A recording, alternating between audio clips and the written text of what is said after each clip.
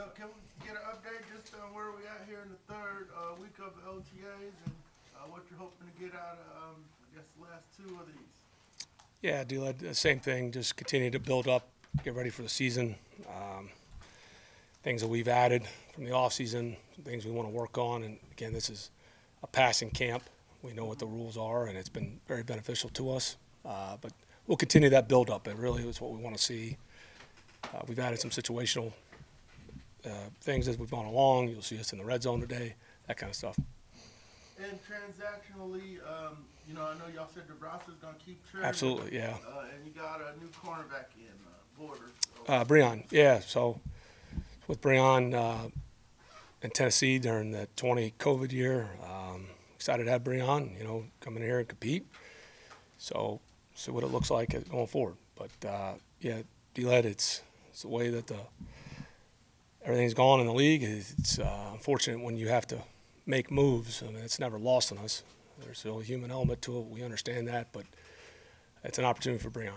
You said it before, like, that guys aren't necessarily gonna make the team during this time. Correct. What do they, what is something that they do, because it's like Dee Alford last year, the guy that seemed like really put himself in Mhm. What do they have to do to put themselves in position to? Sure. Yeah. I mean, you can make a ton of improvement, Mike. When I say that, it's not dismissing this time of year, but it's it's putting things into context about, you know, what ultimately is going to come down to is how people perform in August throughout the preseason as we lead up to, the regular season. When you got to make that last. Well, now there's you know one giant cut down. So that's what I just put in that perspective. Like you know when you're dealing with issues up front, like we're not going full speed. You know, you're not going to be evaluating a lot of the live blocks. We're certainly not tackling. Um, but when you get into some of the movement skills and really scheme and the communication, you see how people developed, develop. I mean, things that you are evaluating this time of year that show up, the consistency. Guy may make a mistake one day, fixes it, continues to improve. Those are things that jumped out with D last year. Uh, and, and still jump out to, to me this year. He's another, he's a guy that's continues uh, to improve, and uh, we're excited. But yeah, he's had a great spring, you know, in, in that relative context. This might sound off, is it, this more the time of year where it's, a guy can hurt himself more than help himself in terms of you see whether he can be a fit or not? Uh, I wouldn't say, put it that way, Mike. But there's certain things when you know that's our job. Uh, when you're making certain transactions where we think a guy may be a better scheme fit, or there's a maybe a better opportunity somewhere else, we know, hey, schematically this isn't going to fit for the player, but the player is good enough to play. He may go somewhere else. Um, so, you know, I don't. I know that the way you asked it, but I think with the context it helps. But you certainly. Um, when you want to add somebody, you're going to have to make make a move. You're 90. You have spoken before about appreciating the improvement you saw from Desmond from his first start to games Right. three and four. Uh, I know we saw, what, I know what we saw statistically, but can you talk about what you saw specifically that you liked it? And ha- and has he been able to continue that momentum in this offseason? Yes, I mean, gone on record many times about it. I mean, we're talking when you when you go out there and you start for the first time in your career, you can go back with history and see guys that even as rookies played more than that. Um, a lot of guys that have struggled and been able to to work through it. There's been guys that have gone into situations that are hadn't put a, you know everything on their back, and they've been around really solid defenses and kind of managed the game. And they, as they grew and they got that second contract, and you're starting to really win because of them. Uh, we've seen guys that, like I said, uh, I think the Peyton Manning story is right. He broke the the interception record. Um, go back. There's some great hot takes. You look at Peyton Manning. Uh, you know before they got rolling in Indy. It's kind of comical when you look at it now, but when you go back and look at history. So I'm not putting Dez in that category. So nobody, please don't mince my words and says, "Hey, coach compared him to this great player." You see a lot of that BS going on this time of year, which is comical. But that's not what I'm saying. So the improvement, you know, those four starts, you're looking at the situational stuff he handles, right? I mean, you may get off to a rough start. You know, can you can you settle down? Can you adapt? You see what their game plan is, and it's those critical downs. Third down, I talk about all the time. Third down, red zone, two minute. And I thought he made a lot of strides there. Um, and then this time of year, as we continue to enhance the offense, but he's not learning a new language.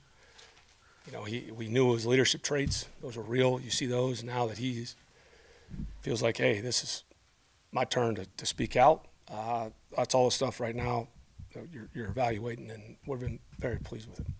Since we're um, talking about um, uh, uh, signal callers, how has um, uh, Taylor Heinicke been doing, kind of getting adjusted to the new scheme? Yeah, uh, Taylor's been been a great addition to the room, and uh, I go on record too that Lo- Logan Woodside's done a nice job too. And so, you know, those things you got to take in consideration. The rules change, right? Where if you, that's the way we want to go, we certainly haven't made that decision now.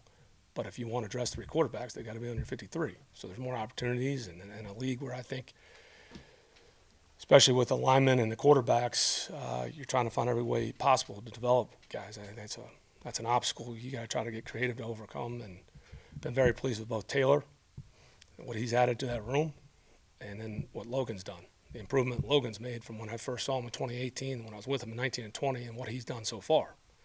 So uh, pleased with that room. realistically at this point of OTAs, like how do you kind of evaluate from week one to now, like the progression? If you're not hailing, you're not tackling, you're Yeah. how are you evaluating the progress? Is it that they they make a mistake, they're able to correct it, type of thing, or But some of it, and there's a lot of things you're you're evaluating. You know, the, the day after day, there's always, and this will same thing will happen to camp. Same thing happens in regular season. You see the people that come out, you know, smoking out of the gate, and then all of a sudden they get fatigued, whether it's physically or mentally, and they start to trail off. It's a little bit what I was talking about the other day. Again, people can take a headline, and I don't blame them. I mean, like when I was talking about planning to play 2021.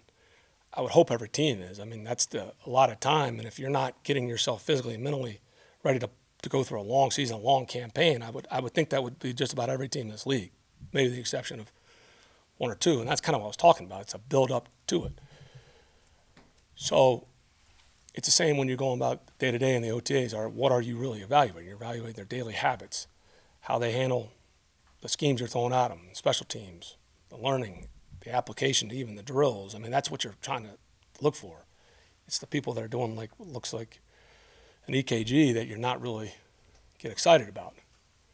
So if we can that, I don't know what medical chart there is. Somebody smarter than me can figure that out if there is one. But that's kind of what you're looking for. who's your intern today? Uh, it's my daughter Sophie. Uh, Tanner's here too, and that's my oldest. Uh, they didn't want to go to their school camp, and so we'll find we'll find more for them to do here. Uh, they were actually more fired up when I showed them the digital media studio this morning. I didn't realize what the YouTube award is, and I was telling uh, Bassity they got real fired up about the YouTube. There's a thing for a certain number of subscribers. Yeah, so learn something new every day, even from your kids. But uh, fired up, they're able to come over here to work. Going back to Desmond for a second, I know you were talking about what you're looking at with him right now. Are there certain benchmarks that you really want him to hit in the offseason? How do you measure that? In terms of what do you mean, like? Just different things that you want to see him progress with.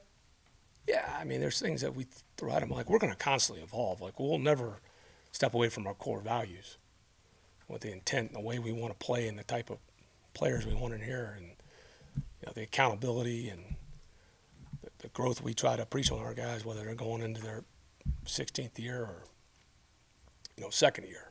Uh, but we, and, and I, I would argue that our facts back that up. Just watch how we played in 21 to what we did last year, and we'll be a little bit different this year, um, and that's our job. You know, you're not going to have the same team year after year, but there's a certain culture that Rose gets thrown, thrown around a lot.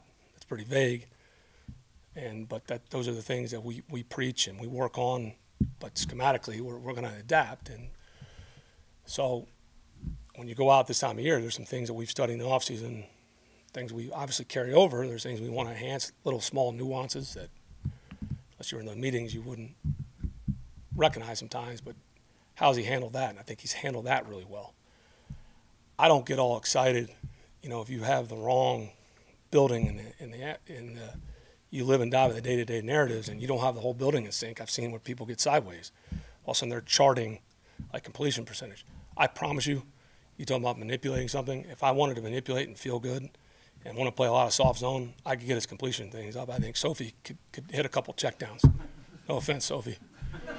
But, and then we could feel warm and fuzzy. Oh, he was at 90% accuracy in a, in a seven on seven in an OTA. It's ridiculous. Like, so the, uh, what we're able to do, what we're trying to push and progress, uh, feel very confident.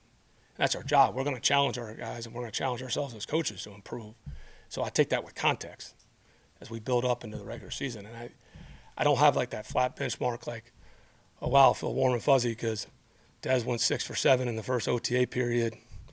You know, he hit three check downs and a really soft underneath route versus, you know, Tampa two, whatever.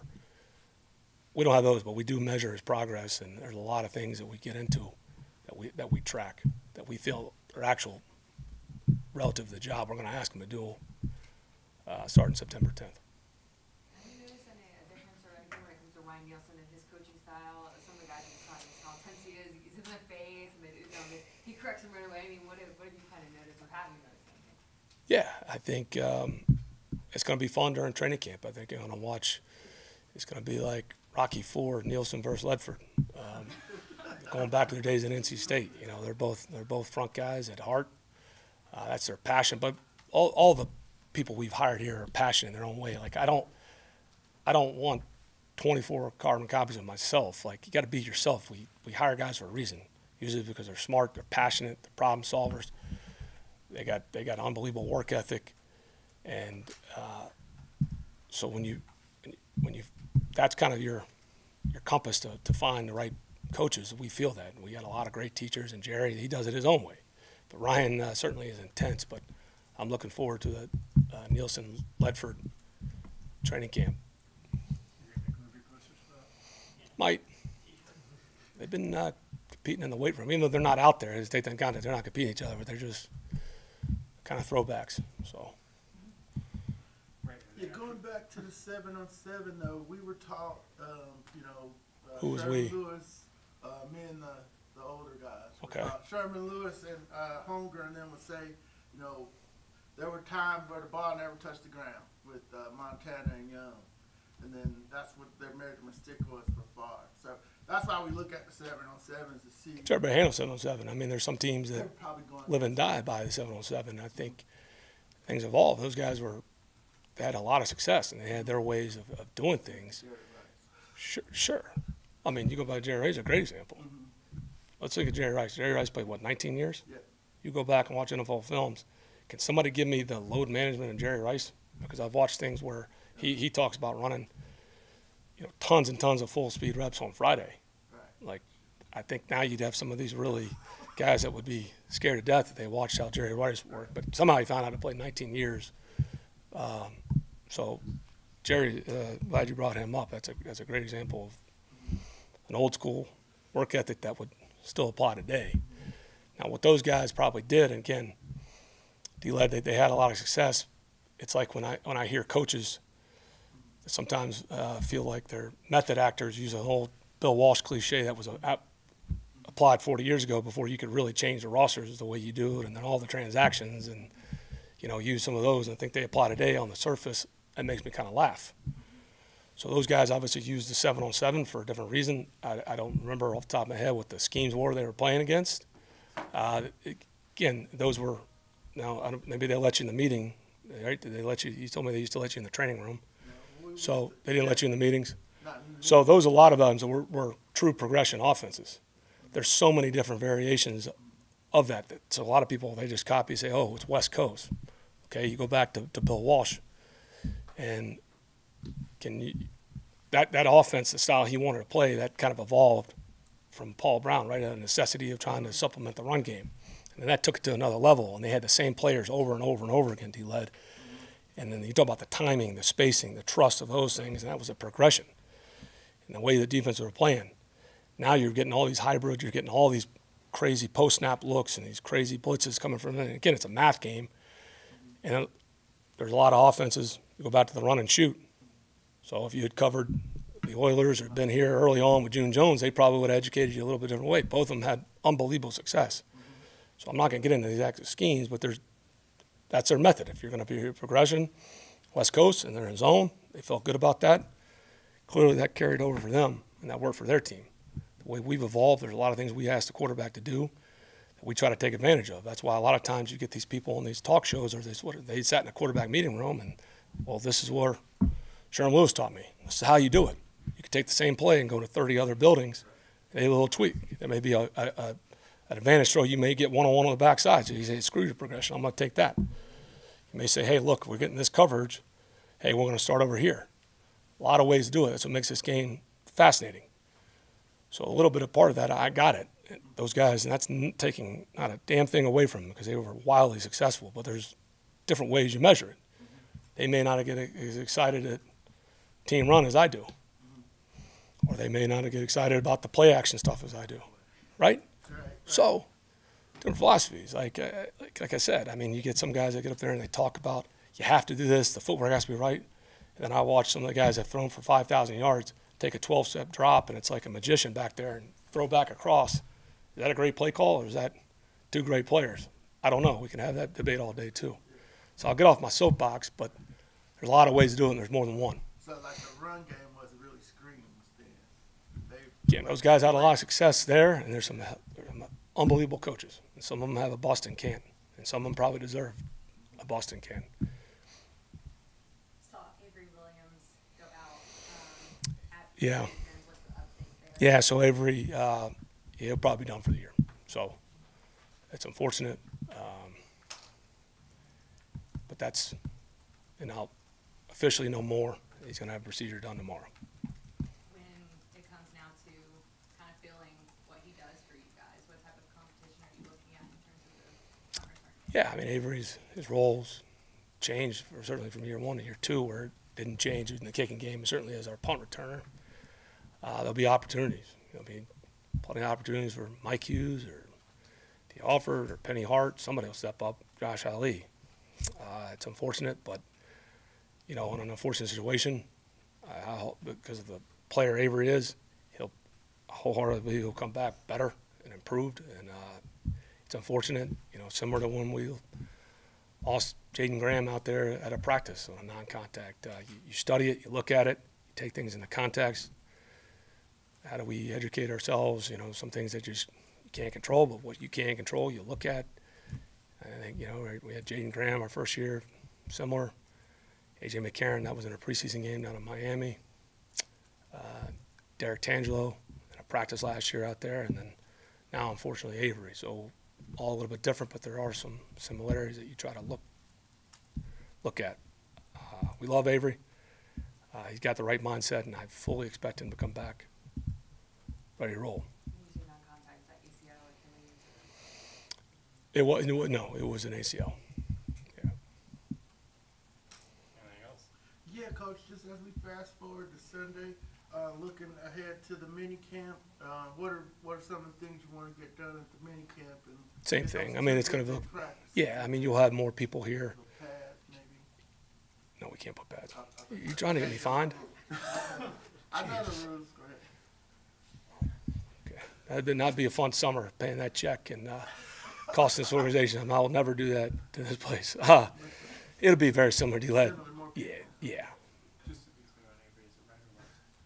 I'm not going to get into specifics, but here, here's in, a- in a in what is a bad news and take it as a context, but it, it is a good sign that he's he's having a procedure done tomorrow, because those, those are when you really look at it, you know, and people if anybody's dealt with it. I mean, I looked up the stat. I think there's 250,000 people a year. They say that deal with it. Uh, one of my siblings did it in a, a skiing thing. Uh, did you do it, Elad? Yeah. Yeah.